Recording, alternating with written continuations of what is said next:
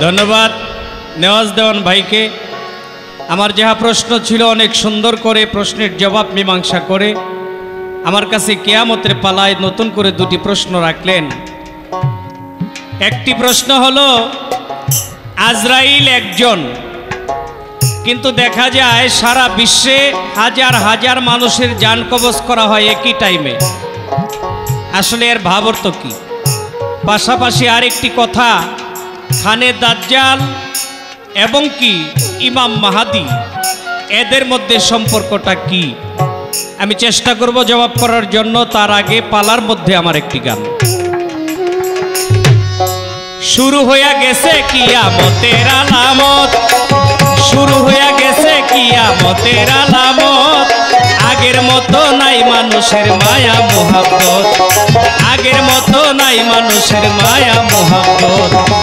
শুরু হইয়া গেছে কিয়ামতের আলামত। শুরু হইয়া গেছে কিয়ামতের আলামত। আগের মতো নাই মানুষের মায়া, মোহাব্বত। আগের মতো নাই মানুষের মায়া, মোহাব্বত।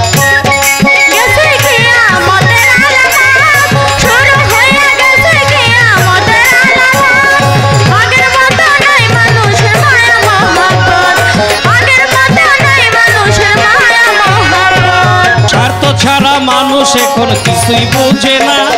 বিনা স্বার্থে কারও কাছে কেউ যেতে চায় না। স্বার্থ ছাড়া মানুষ এখন কিছুই বুঝে না। বিনা স্বার্থে কারও কাছে কেউ যেতে চায় না। সত্যবাদী কমে গেছে, সত্যবাদী কমে গেছে, বেড়েছে অসৎ। আগের মতো নাই মানুষের মায়া, মোহাব্বত। আগের মতো নাই মানুষের মায়া, মোহাব্বত।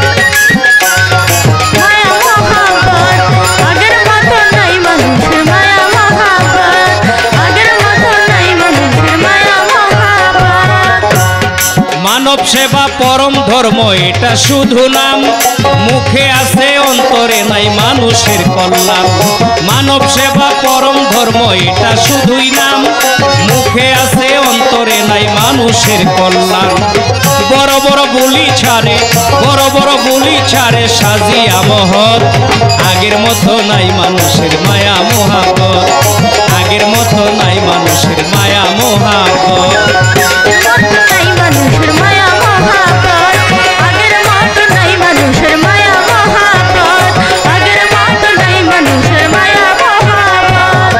বৈদেশি বারেকে বলে? লেবাজে ধার্মিক। ঘুষের টাকা, সুদের টাকা হইয়াছে সাক্ষী। বৈদেশি বারেকে বলে? লেবাজে ধার্মিক। ঘুষের টাকা, সুদের টাকায় হইয়াছে সাক্ষী। বেশি বেশি লোক দেখানো, বেশি বেশি লোক দেখানো করে এবাদত। আগের মতো নাই মানুষের মায়া, মোহাব্বত। আগের মতো নাই মানুষের মায়া, মোহাব্বত।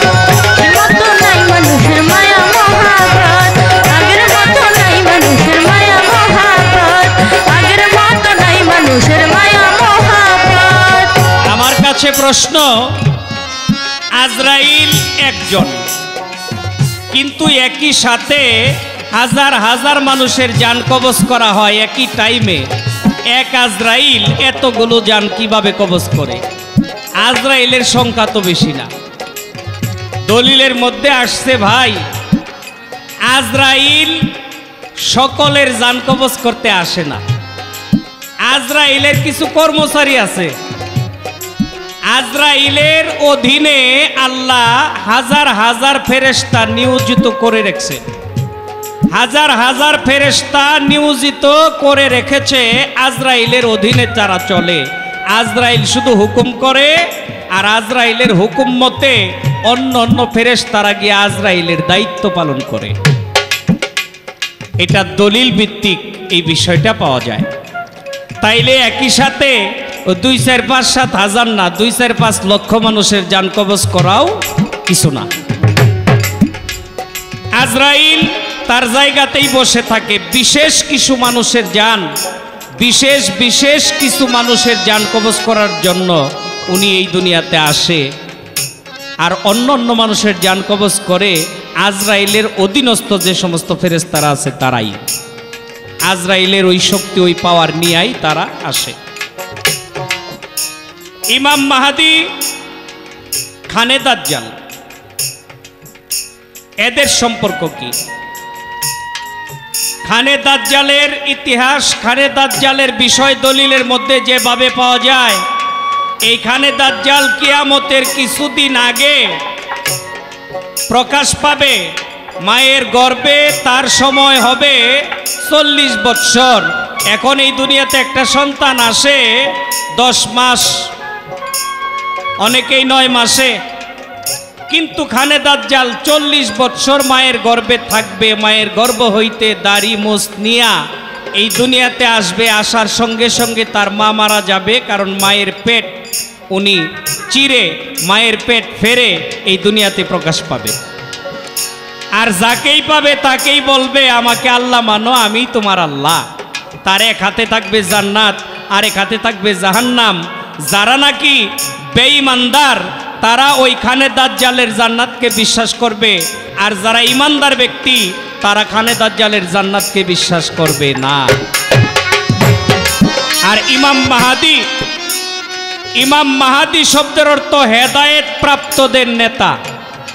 তৎকালীন সময়ে যারা হেদায়েত প্রাপ্ত, তারা তাদের সাথে ইমাম মাহাদির সঙ্গ হবে। তারা ইমাম মাহাদির পক্ষে থাকবে। উনি শেষ ইমাম হিসেবে প্রকাশ পাবে। এই ইমাম মাহাদি আমার দয়াল নবীর বংশেই উনি প্রকাশ পাবে। নবীর বংশেই উনি আসবে। ইমাম মাহাদি মাগরিবের আজান দিবে। মাগরিবের আজানের সময়ে দাঁড়াবে নামাজ আদায় করার জন্য। ইমাম মাহাদি ইমামতি করবে। এমন টাইমে ঈসা নবী চতুর্থ আসমান থেকে আল্লাহর হুকুমে এই দুনিয়াতে আগমন করবে, পুনরায়। ইমাম মাহাদি বলবে, ঈসা নবীকে যে আজকে নামাজের ইমামতি আপনি করেন, ঈসা নবী বলবে, না, তুমি আখেরি জামানার যে নবী, সেই নবীর উম্মত, তুমি সেই নবীর বংশধর। আমার চেয়ে তোমার গুণ, আমার চেয়ে তোমার মান অনেক গুণে গুণান্বিত তুমি, অনেক কিছু তোমার বেশি। আজকে তুমি ইমাম সাইজা তুমি ইমাম হইয়া নামাজ পড়াও, আমি তোমার পিছনে মুক্তাদি হইয়া নামাজ পড়ব। আর আজকে তোমার পিছনে আমি নামাজ আদায় করলে আমার নামটাও মোহাম্মদী উম্মতের খাতায় উঠে যাবে। তারপর ইমাম মাহাদি আর খানে দাজ্জাল। ইমাম মাহাদির সাথে ঈসা নবী একত্রিত হইয়া খানে দাজ্জালকে তারা হত্যা করবে। যেই পর্যন্ত খানে দাজ্জাল যে পর্যন্ত ইমাম মাহাদি একা চেষ্টা করবে, পারবে না খানে দাজ্জালকে হত্যা করার জন্য, ধ্বংস করার জন্য। যখন ঈসানবী দুনিয়াতে আইসা ইমাম মাহাদির সাথে যোগ দিবে, একত্রিত হবে, তখন খানে দাজ্জালকে তারা ধ্বংস করবে, একত্রিত হইয়া একত্রিত শক্তি দিয়া। শেষ করলাম। একটা কথা বইলা রাখি ভাই, বাংলাদেশের মধ্যে কোনো বাউল শিল্পী যদি স্টেট কার্ড সরাসরি কোনো কিছু বলে, তাইলে আমি দাবি করব যে তাদের মধ্যে আমিও একজন। আমি ঘোরায় বেসায় কথা বলি না, যা বলি স্টেট কার্ড বলি। এটা আমার অভ্যাস। আর মানুষ অভ্যাসেরই দাস। আমার ভাইয়ে খুব মজা করে একটা কথা বলছে যে, আপনি যদি এক কেজি মাংস রান্না করতে কতটি লাকড়ি লাগবো, এটা বুঝাইতে গিয়া যদি আম গাছ কাঁঠাল গাছ, জাম গাছ, গজারি গাছ, কোন গাছের লাকড়ি, এটা যদি দেখান, তে তো সর্বনাশ। না ভাই, এটা কেমন হয়েছে বড় ভাই তো, যেহেতু বাংলাদেশের সুনামধন্য শিল্পী মিরাজ দেওয়ান আমার বন্ধু মানুষ, ওই সুবাদে নেওয়াজ দেওয়ান ভাই ওনারই বড় ভাই, আমিও তাকে বড় ভাই সম্মানই করি। তো, এক ছাত্র, এটা পরে ক্লাস ফোরে। এই ক্লাস ফোরের ছাত্র গিয়া যারা এইটের ছাত্র এদেরকেও তুই করে কয়। সব ছাত্ররা ক্ষিপ্ত হয়ে গিয়া মাস্টারের কাছে বিচার দিছে, স্যার, এর তো সব বালা না, সিনিয়র জুনিয়র মানে না আমরা খালি তুই কইরা কয়। মাস্টার সাহেব ডাইকা নিয়ে জিগাইতেছে ছাত্র রে কিরে, তোর সিনিয়র যারা, বয়সে তোর বড় যারা, তাদেরকেও তুই তুই কইরা কস, কারণটা কি? কিছুক্ষণ টিপ মাইরা থেকে কইতেছে, স্যার আমি যে ওগরে তুই কইরা কই, তরে কইছে কেডা? আমি যে তুই কইরা কই, তরে কইছে কেডায় ভাই, আপনি যাই কিছু জি গান ইনশাল্লাহ আমি ওই গোরানি পেশানির মধ্যে যাব না, আমি সরাসরি বলব এই কথা দিলাম আপনাকে। আমার একটু জানার দরকার, আপনি বলবেন, কাল হাসরের মাঠে জিন এবং কি ইনসানের বিচার করবে আল্লাহ, এটা দলিল প্রমাণ করে? কিন্তু দলিলের মধ্যে দেখা যায় যে একটি কুকুর, একটা কুকুরও হাসরের মাঠে গিয়া উপস্থিত হবে। আমার একটু জানার বিষয় থাকবে। জিন এবং ইনসানের বিচার করবে আল্লাহ, এটা কোরআনে আসছে। তাইলে একটা কুকুর গিয়ে হাসর মাঠে উপস্থিত হবে, এই কুকুরটা কার কি জন্য হাসর মাঠে যাবে তার কি প্রয়োজন? একটি কথা আমার এই জায়গায়, পাশাপাশি আরেকটি কথা আমার থাকবে। একটি কবর থেকে একটা মানুষ উঠবে। একটা আলবর্জক হাড্ডি হইতে বারক হইতে একটা মানুষ গেজায় উঠবে হাসরের মাঠে। কিন্তু দলিল প্রমাণ করে সত্তরটা কবর হইতে একটি মানুষ উঠবে কাল হাসরের মাঠে।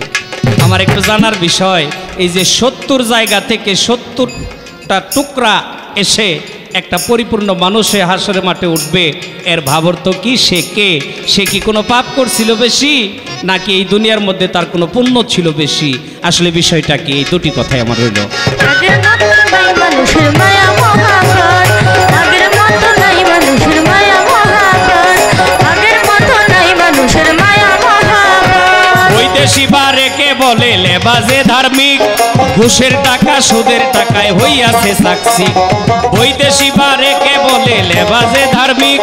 ঘুষের টাকা, সুদের টাকায় হইয়াছে সাক্ষী। বেশি বেশি লোক দেখানো, বেশি বেশি লোক দেখানো করে এবাদত। আগের মতো নাই মানুষের মায়া মহাপত আগের মতো নাই মানুষের মায়া মহাপত শুরু হইয়া গেছে কিয়ামতের আলামত। শুরু হইয়া গেছে মতের আলামত। আগের মতো নাই মানুষের মায়া মোহাম্মত আগের মতো নাই মানুষের মায়া মোহাম্মত আগের মতো নাই মানুষের মায়া মোহাম্মত